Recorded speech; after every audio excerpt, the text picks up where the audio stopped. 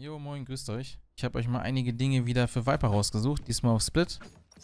Weil ich einfach finde, dass Viper im Moment sehr, sehr stark ist und auf allen Maps spielbar ist. Solange man Viper halt beherrscht und dafür ist das Video. Gerade die Fixpunkte sollte man halt immer können für Afterplant. Das ist ja gerade das Starke an Viper. Und natürlich auch eine Möglichkeit, wie man als Defender decken kann. Ja, das wollte ich euch einfach mal wieder zeigen, was ich hier so herausgefunden habe.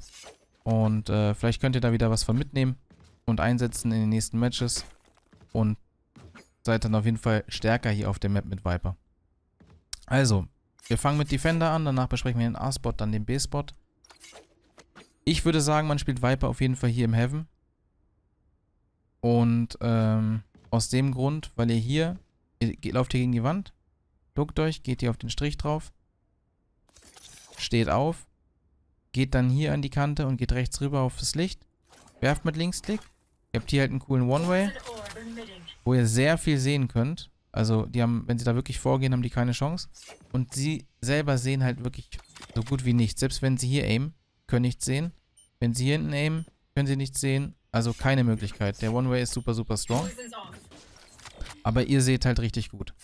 Dann den hier auf jeden Fall werfen. Dann, um eure Mates zu supporten, macht ihr diese Wall zum Beispiel. Ihr geht hier an die Wand und macht eine sehr, sehr aggressive Wall.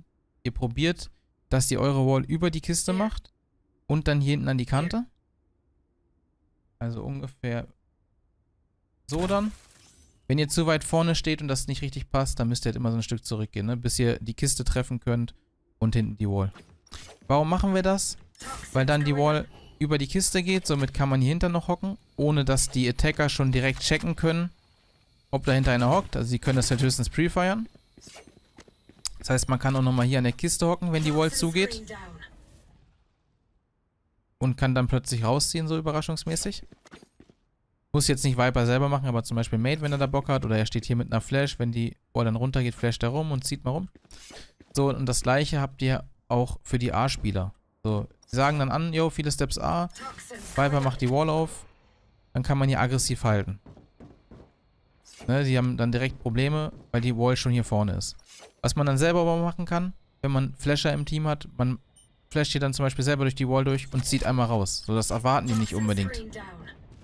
Weil sie eh denken, dass man defensiv hinter der Wall steht. Aber gerade wenn man Flashes hat, kann man dann auch mal die Wall nutzen, um da mal rauszuflashen und dann einfach mal zu pieken. Oder man macht es halt mit dem Timing, dass man sich zum Beispiel macht die Wall auf, versteckt sich aber hier in der Kiste man sagt dann Viper an, yo, Wall zu. Dann macht man die Wall zu. Und in dem Moment kriegt der von einem Mate, zum Beispiel der da oder steht, eine Breach Flash hier durch die Kiste und dann probiert man hier zu pieken, diesen ganzen Bereich. Als Beispiel, ne? Da gibt es ganz, ganz viele Möglichkeiten. Diese aggressive Wall ist natürlich nur gut, wenn man noch Flasher im Team hat. Und äh, es ist natürlich schwer in Ranked sich dann da so gut abzusprechen und vor allem auch, dass alle das machen, aber ja, ich zeige euch ja nur Möglichkeiten, was alles, was man damit alles machen kann. Hier ist es natürlich dann auch zu, ne? Wenn sie dann draufgehen wollen. Kann man auch gut abaimen. Muss dann hier oben ein bisschen aufpassen, weil es oben in der hochportet. Aber, ja. Das ist die erste Wall für den Defender. Man selber hat ja auch noch seinen One-Way-Orb da oben, ne? Mit dem man decken kann. Sobald man kein Gift mehr hat, wirft man sein anderes Gift gegen, damit es wieder auflädt. Also seinen Tank sozusagen. So, man aimt dann hier. Okay, Gift geht weg. Kann One-Way wieder aufmachen, kann wieder pieken. Hat wieder ein bisschen sein Gift. Kann dann notfalls nochmal gegengiften, ne? Und so weiter und so fort. So kann man hier lange aufhalten. Das sind die Möglichkeiten als Defender. Dann eine andere Wall. Hier rangehen. Das ist die zweite Wall, die defensivere. Da probiert ihr so zu aimen, dass ihr diese Kiste trefft, so ein bisschen. Und halt einfach, also im Endeffekt einfach geradeaus. Versucht einfach die Kiste da zu treffen. Und, äh, so ungefähr. Ja. Hier hinter kann man nicht wirklich stehen, weil man würde einen durch die Wall sehen. Und man kann es auch notfalls noch einen Ticken weiter nach links machen, aber da will keiner hintergehen. Derjenige, der in Ropes ist, kann hier gut abdecken, weil die ihn erstmal pushen müssen. Man kann auch von hier einfach abdecken. Ne? Die müssen ja durch die Viper Wall. Und die, die hier decken. Mach jetzt gleich nochmal auf hier.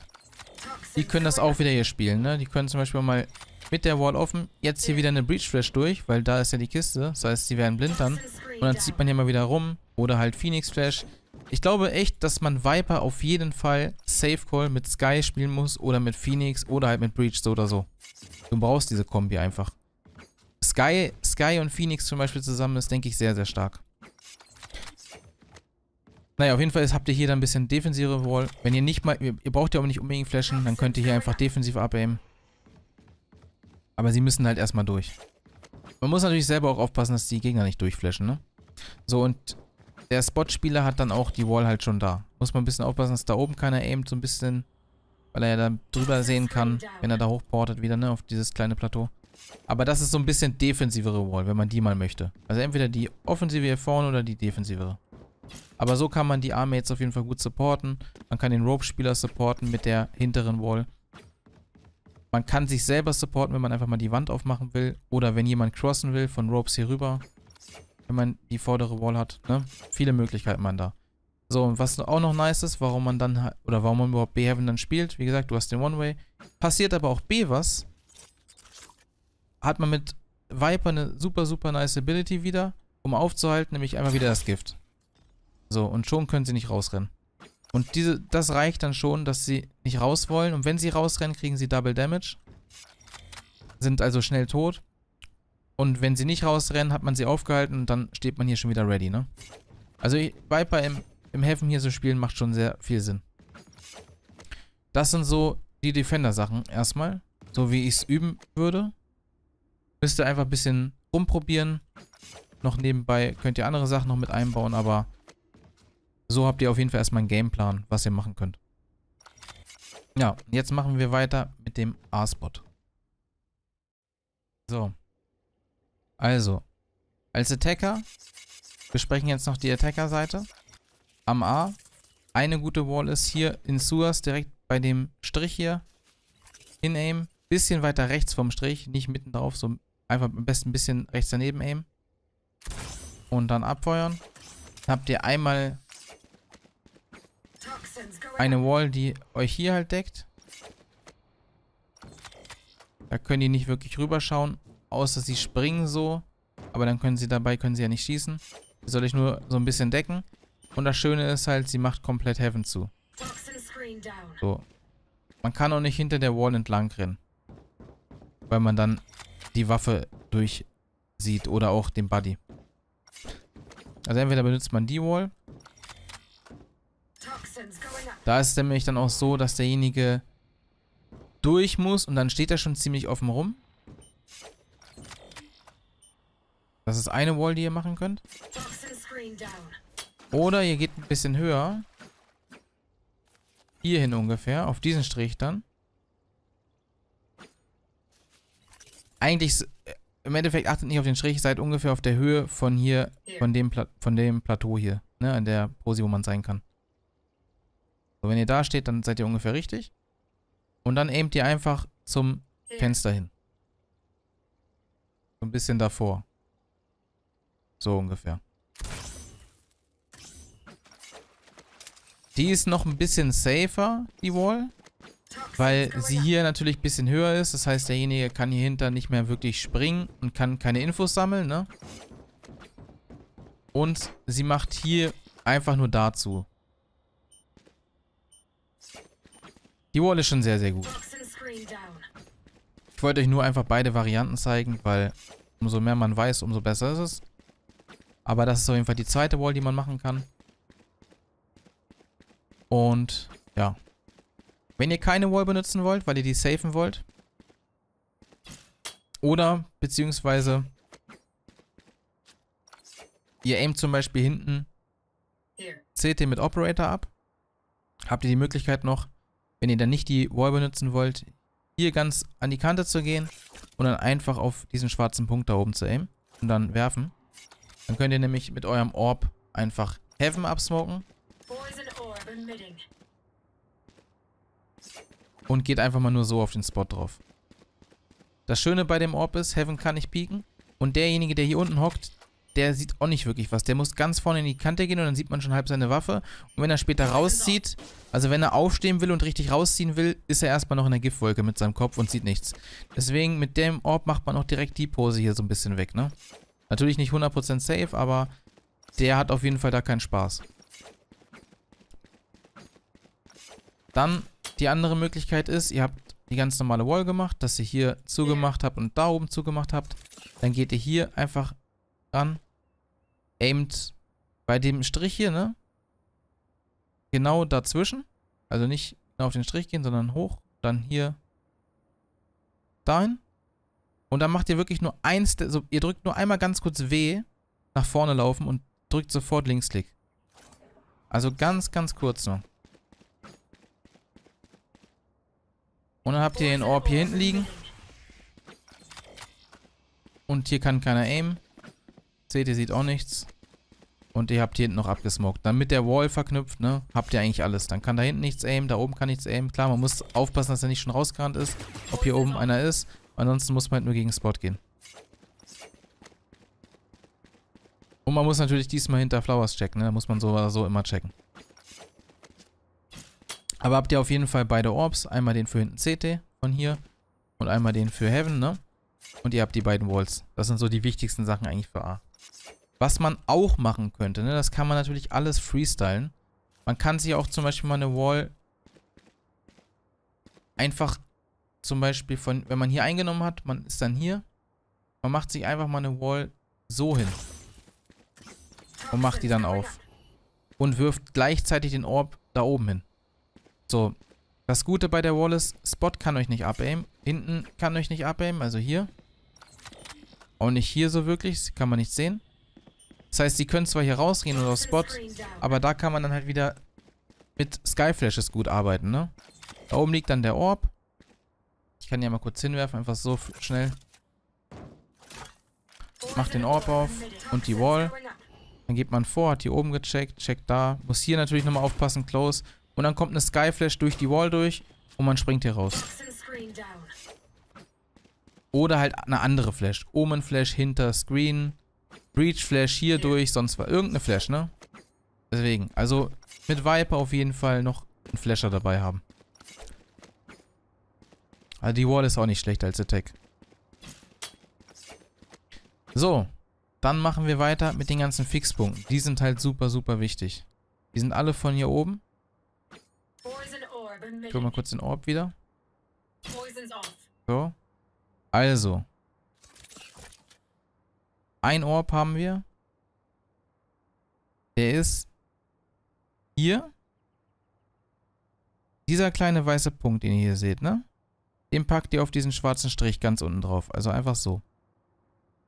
Dann habt ihr den Orb schon mal. Für Hinterscreen, falls dort gelegt wurde. Ne, ihr seht es auf der Minimap, wo der, wo der äh, Orb liegt. Und dann könnt ihr ihn aktivieren, wenn diffused wird. Oder allgemein auch schon vorm Diffusen. Und ähm, das Gift ist ganz einfach. Ihr geht hier an dem Strahl hoch. Ne? Ihr seht ja hier den Strahl in der Luft. Und ihr geht so weit hoch, bis eure Buchstaben hier unten, Q, E, C, auf dieser grauen Linie sind. Also über im Endeffekt hier den Pflanzen, ne? Also hier an der Linie hoch. So, jetzt sind die Buchstaben auf der grauen Linie. Und dann könnt ihr euer Gift, euer Gift raushauen. Und dann mit dem Orb zusammen, ne? Haben die keine Chance. Hol den Orb mal wieder. Dann, nächster Fixpunkt. Für im Endeffekt hier, ich nenne es jetzt einfach mal Default Plant. Das ist ja offengelegt, deswegen hier ist, die meisten Leute legen einfach hinter Spot da direkt, ne? Da einfach bei dem Strich hier, den ihr hier seht, einfach sobald ihr die Pflanzen berührt, ne? Strich runter und sobald ihr die Pflanzen hier oben berührt, einfach werfen. Linksklick. Auch ganz, ganz einfach. Und das Gift auch richtig easy. Am, an diesem Strahl wieder hoch. Bis auf dieser Hau ähm, Haushöhe sozusagen. Da dann rechts rüber.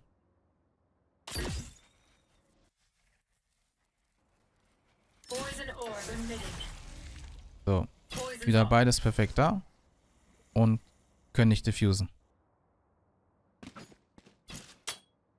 So, dann nächster Fixpunkt. Diese kleine Lücke hier in dem, also ihr seht ja hier dieses ganze Gestrüpp sozusagen und hier ist eine kleine Lücke. Da gibt es zwei Möglichkeiten, habe ich rausgesucht. Einmal, ihr aimt genau in diese kleine Lücke zwischen den ganzen ähm, Gestrüpp, da rein, wo ihr dann den Himmel da seht. und werft. Das sieht nämlich dann so aus. Auch ganz nice. Liegt es nämlich oben auf der Kante. Wenn man offengelegt hat da und er hier diffusen will und der Orb geht auf, dann hockt er im Orb und die Leute können ihn von außerhalb die Füße sehen. Ne? Das heißt, die können ihn auch viel besser abschießen, als wenn der Orb da einfach nur unten liegt. Auch wenn die Leute noch hier oben sind, ne? Sehen dann schon perfekt, von wo er diffused. Ah, okay, da hockt er. Weil man halt ihn halt sieht. So, das ist super, super nice, wenn wirklich ganz in der Ecke gelegt wurde. Ansonsten, wenn ihr seht, okay, es wurde hier so gelegt oder ja hier so weiter außen,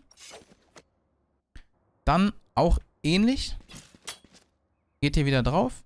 Aber anstatt ihr jetzt diese Lücke nimmt, aimt ihr hier auf das, ähm, auf dieses Blatt und ein bisschen oben drüber. Einfach so. Also nicht Lücke auf das Blatt und oben drüber, direkt links davon und dann werfen. Dann prallt er hier ab und liegt diesmal hier. Den könnte man, den könnte man auch benutzen, wenn hier gelegt wurde, ne? Das kann man, man kann sich auch einfach nur den merken und dann hat man direkt für beides. Aber ich wollte euch beide wieder zeigen, weil der andere ist halt wirklich nice, wenn wirklich hier gelegt wurde, ne? So, wenn da dann gelegt wurde, dann macht den anderen. Und wie geht das Gift dahin? Auch ziemlich easy. Ähm, ihr geht hier in die Lücke rein. Geht nach ganz oben. Und aimt auch wieder auf, die, auf diese Dachhöhe sozusagen. Und schießt einfach. Diesmal genau an der Kante.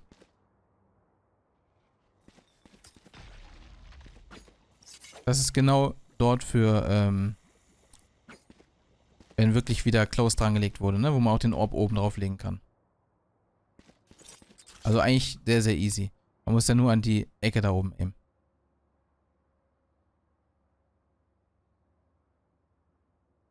Ja. Wenn man, wenn ein bisschen weiter hinten gelegt wurde, also hier sozusagen, dann müsst ihr nur von der Ecke da oben ein bisschen weiter runter eben. Äh, bisschen höher eben, sorry. So, auf der Höhe hier zum Beispiel von dem Licht. Weil dann fliegt er noch ein bisschen weiter äh, zu euch. Und dann ist auch, dann ist auch das hier mehr gehittet, ne? Also entweder Dachkante oder ungefähr auf der Höhe des Lichtes. Oder sogar noch ein Stück höher, ne? Muss man schauen, wie gelegt wurde. Umso höher man geht, umso weiter fliegt das Gift in die Richtung hier.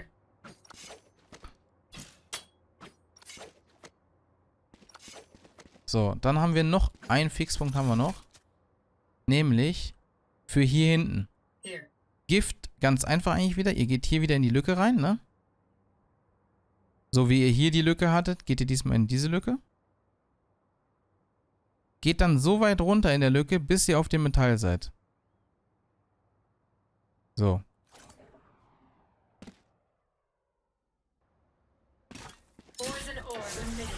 falls hier hinten in der Ecke gelegt wurde. Hier wird ja auch öfters mal im Rank gelegt, ne? Einfach hier hinten. Da habt ihr den Orb dafür. Meistens ist es aber eh so, dass ihr mindestens einmal mit am Spot wart. Sagen wir mal zum Beispiel, ihr wart mit hier, ihr wart Flowers oder so, ne? Ihr habt hier abgedeckt.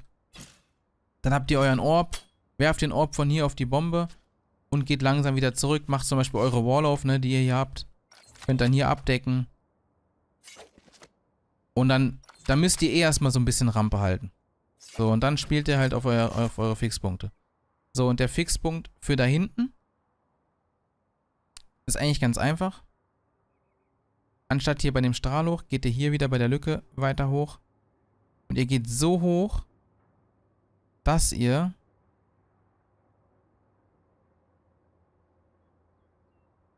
dieses Ding hier, ne? Von dem Teil, das packt ihr genau unter, den, unter diesen linken Strahl. Also genau so im Endeffekt.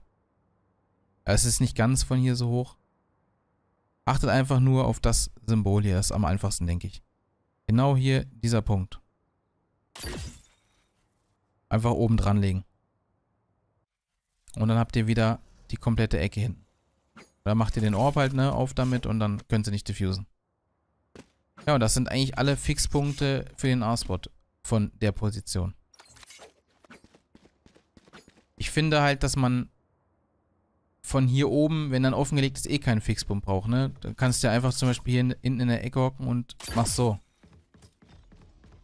So, das, das kriegt man ja vom Feeling hin schon. Oder du springst notfalls einmal und schießt so hin. Und hinter, hinter Spot machst du so Bande. So ungefähr. Bisschen Dollar noch. Also gut, wenn du Heaven bist und hinter Spot wurde gelegt, dann ist es eh nicht so gut. Da solltest du am besten gar nicht Heaven sein. Also wenn hinter Spot gelegt ist, sollte man eh nicht Heaven sein. Nur höchst Heaven sollte man sein, wenn halt offengelegt wurde, ne?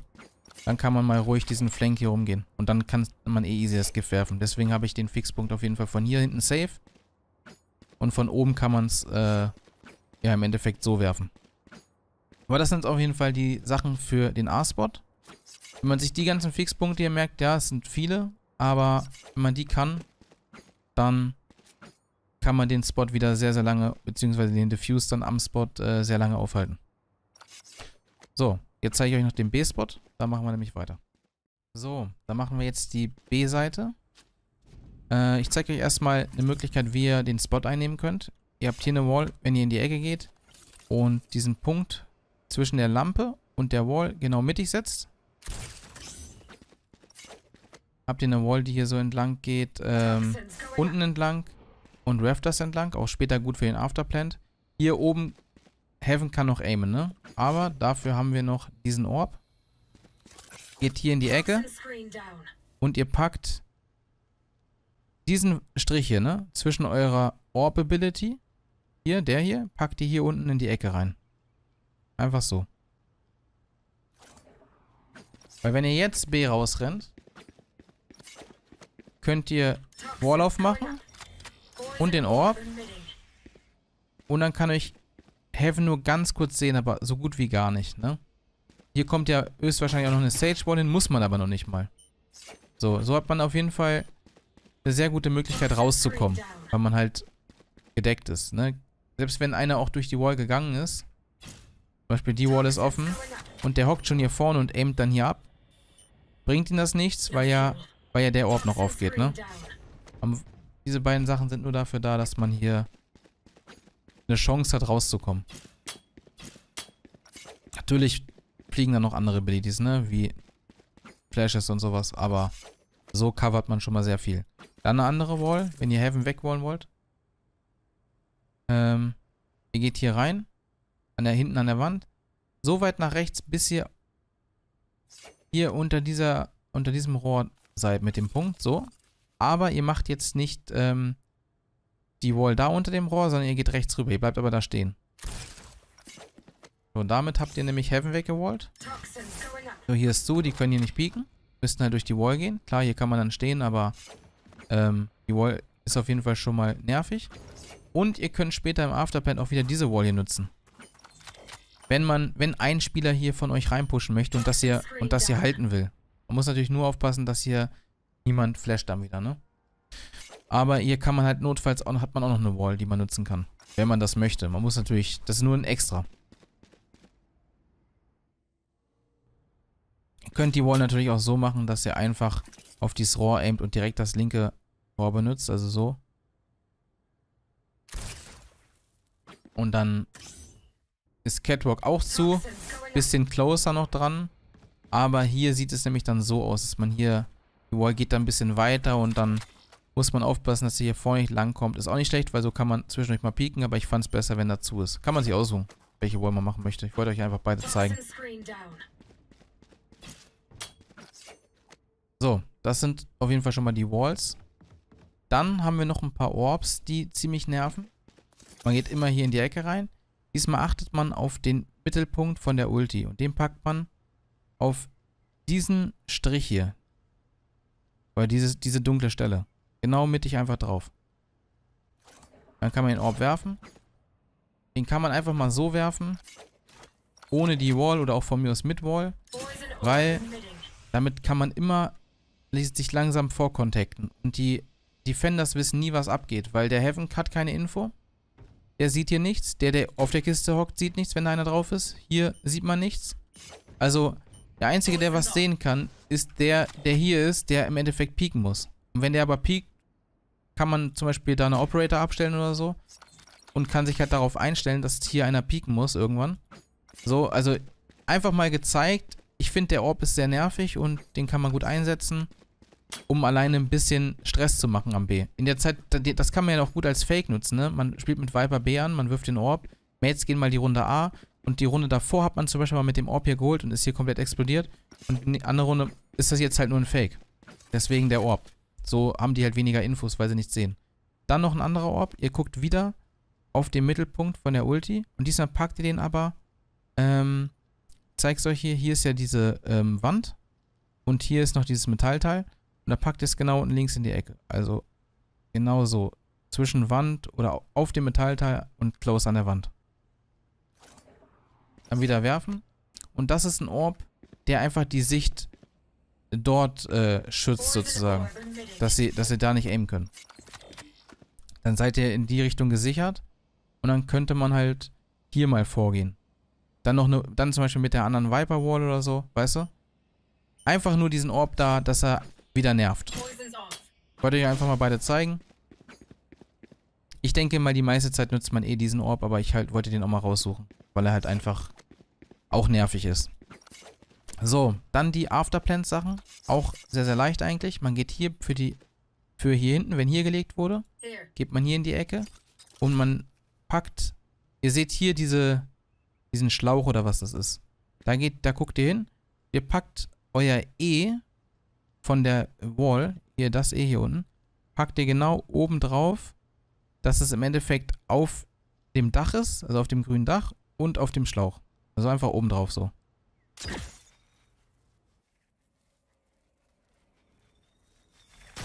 So. Damit kann man dann auch nicht so gut pieken. Leute können nur hier vorne close pieken, so rum. Aber dann sind sie nah an der Wand. Das ist kein guter Peak, weil sie wollen meistens immer hinten rumgehen.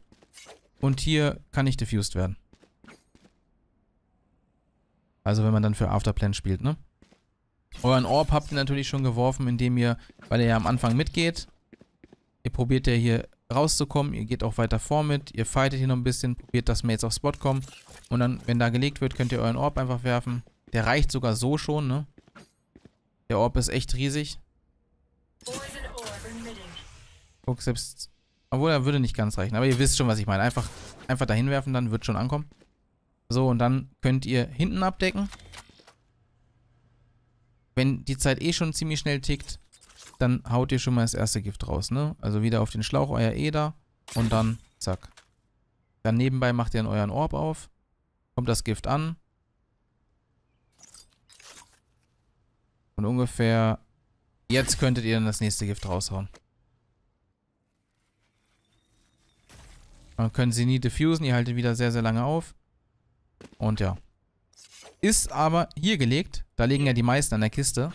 Geht ihr hier in die Ecke, seht hier diesen grauen ähm, Strich, weiß gar nicht, was es ist. Ah, vom Gebäude. Vom Gebäude die Kante. Und oben drüber ist das Schild. Und dann packt ihr einfach euer Crosshair nicht auf die, wichtig, nicht auf diesen, auf die Unterkante von dem Schild, sondern richtig oben in das Grüne drauf, ne? Beim grauen Strich komplett oben auf Schild, dann in das Grüne. Und dann prallt es hinten an der Wand ab. Und man kann hier nicht diffusen. Und könnt da wieder lange aufhalten. Wichtig halt immer, dass der Orb mit drauf liegt, ne? So. Ansonsten haben wir eigentlich alles. Das sind eigentlich so die B-Sachen, die ich euch zeigen wollte. Das sind die beiden wichtigen Fixpunkte für da und da. Und ja. Damit sind beide Plans eigentlich safe. Woanders legt man eigentlich meistens nicht, sondern es wird immer da und da gelegt. Wenn man Bock hat, kann man sich natürlich noch für hier einen raussuchen, wenn man da, wenn man gerne da legt oder sowas. Aber das sind eigentlich so die beiden wichtigsten Spots. Hier an der Ecke und einfach Default. Ja, damit haben wir jetzt auch Split wieder besprochen. Ich werde auf jeden Fall auch noch Ascent machen. Haven eventuell auch. Aber ja, Haven ist eigentlich... Also ich glaube echt, dass Viper auf allen Maps gut ist, wenn man Viper gut beherrscht und dort viel auf den Maps kann. So wie sie jetzt im Moment äh, gebufft wurde. Dann bedanke ich mich mal wieder fürs Zuschauen. Ich hoffe, euch hat das Video wieder geholfen. Und äh, ja, ihr könnt ja mal in den Kommentaren schreiben, ob die Dinge gut geklappt haben. allgemein gerne natürlich ein Like da lassen. Falls ihr noch nicht abonniert habt, gerne abonnieren. Wir kommen immer eins bis zwei Guides pro Woche.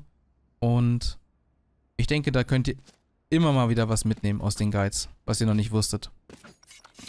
Na gut, danke fürs Zuschauen und bis zum nächsten Video dann. Macht's gut.